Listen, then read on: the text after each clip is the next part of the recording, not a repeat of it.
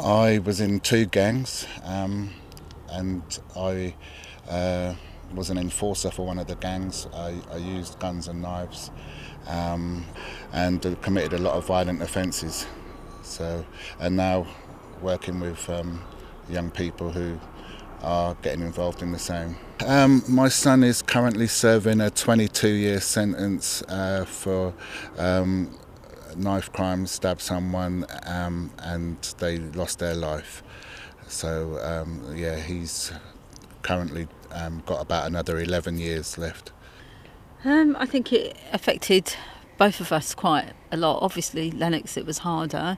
Um, i he'd only been in my life for two years, um, but it was still quite heart wrenching to watch a young person go from being filled with so much rage to then taking it out on the streets and just you know, um, venting their feelings out on somebody. It doesn't necessarily mean that everybody does it that way, but for um, my stepson, he he was full of rage, full of things that had been done, and lots of uh, problems he'd had with some of the drug dealers that he was around.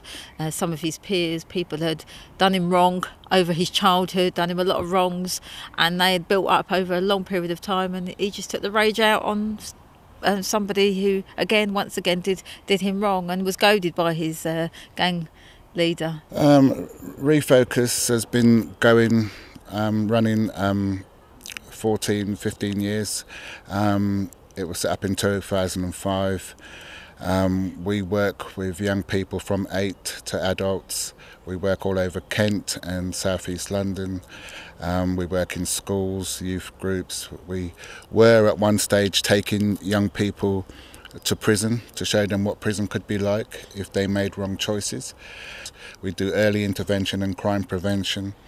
Um, we do uh, a lot of mentoring and one to one sessions as well as group work. Mm. It's a culture. It's becoming a culture for young people to carry knives, and that's what we want to break in schools from the earliest ages that we can, really, because um, majority of kids are picking up knives primarily because someone else has picked up a knife, or they're hearing that there are other people picking up knives. So, how do you feel the media portrays the issues? It's a race thing.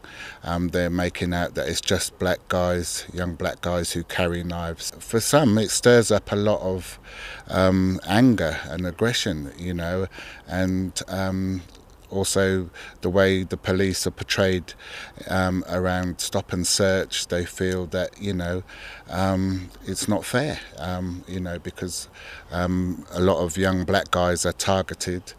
It can create an environment of fear when actually it's unnecessary. Um, so there's two, there's two things that we really feel passionate about. One is that the media doesn't profile knife crime as just being young black men because it isn't. And in in Kent we are dealing with traveller communities, Eastern European communities, white British communities, Asian communities, and Black and African and Afro Caribbean communities. It's everybody, anyone who is vulnerable basically to picking up a, a, a knife or actually getting involved in county lines or gangs. It's not just um, black on black. It's not. Mm. And we need to, um, yeah, we need to kind of. I think social media needs to manage that a little bit more healthier and and um, stop scaremongering people. I think I, I, live in an area where where there there is um, an issue with um, antisocial behaviour because young people, the youth service has been cut and there's not a lot of um, provision for young people where I live. So um, I, I, would say I, I know I know a lot of my community because um, I, I, do a lot of work locally community. So, but I would say other people probably don't know who lives in number six or number five, or you know, you don't know who's on your street. So I think that that that aspect of community is lost, and we need to get that back. So exactly what Barry and Lennox were saying about um, community, we need to take responsibility ourselves as um, as, as community, um, and and not keep blaming other people and saying, "Well, you fix it, you fix." Well, we. I think I would say we are the solution, the community. Absolutely. Yeah. I've got lived experience. I've been there and done it. Got the T-shirt, and I think um, I touch on some of the issues that a, a lot of people agree with, um, and I think it's having a voice for them as well. Uh, I think that's very key. It's not just it's not just about the lived experience now it's about understanding the grassroots issues that go on in society right up to the top with the political issues that go on and how they impact on charities like us how you know um, how society in general manages all these problems Right, so come and join us at the Knife Crime Summit, 21st of September, Saturday, 21st September, at Mid Kent College, 10 to half past four, and lunch is included.